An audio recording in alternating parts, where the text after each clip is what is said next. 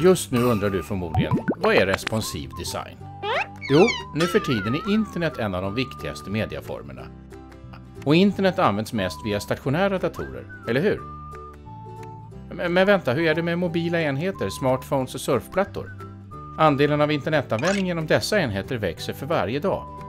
2011 var andelen mobilsurfare cirka 11 procent. Förra året var det nära 25 procent och en prognos förutspår att i år kan det faktiskt bli dominerande mobilsurfare. Så på vilket sätt är detta relevant för dig? Jo, det innebär att om du inte vill förlora massor av potentiella kunder bör du ha en snygg hemsida som även är optimerad för mobilt nätsurfande. Eftersom problemet med många av dagens hemsidor är att användarupplevelsen på mobila enheter är, ja hur ska jag uttrycka det, hemsk. Uppgifter för en responsiv hemsida är att anpassa sig till den skärmstorlek som du använder då du besöker den. Så istället för att skapa olika hemsidor för olika enheter omorganisera din responsiva hemsida de olika elementen att passa alla skärmar. På det sättet får du fler nöjda besökare som också leder till fler nöjda kunder.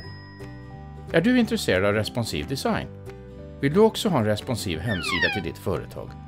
Ja, det är något som vi definitivt kan hjälpa dig med. Kontakta oss redan idag.